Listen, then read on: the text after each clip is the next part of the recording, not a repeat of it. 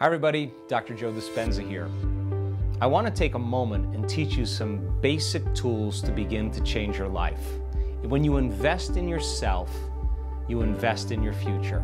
Number one, take some time out of your busy lives to disconnect from your world.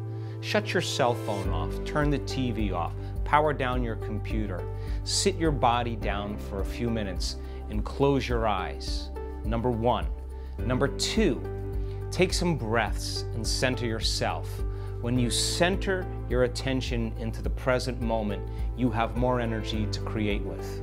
When your mind wanders to the predictable future or the familiar past, that's normal.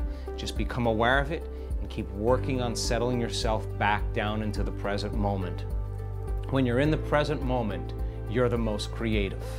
Number three, ask yourself, can I be defined by a vision of the future instead of the memories of the past? What do I want in my life? And take the time to answer the question. As you begin to contemplate and think about the answer to the question, you're changing your brain. When you make your brain fire in new sequences and new patterns and new combinations, that's the beginning steps of changing your mind.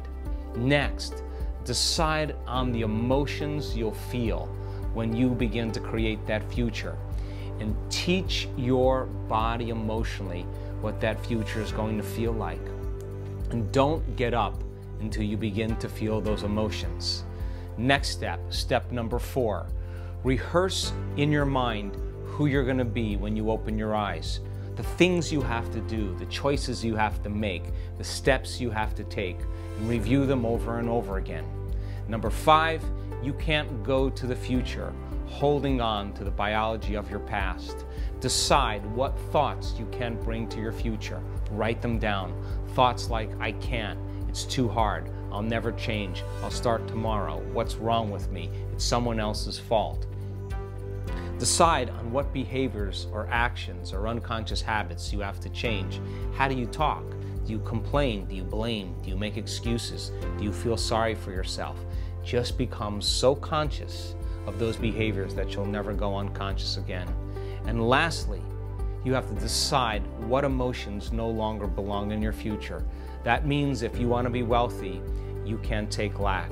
If you want to be healthy, you can't take insecurity or fear. You got to begin to condition your body to a new mind.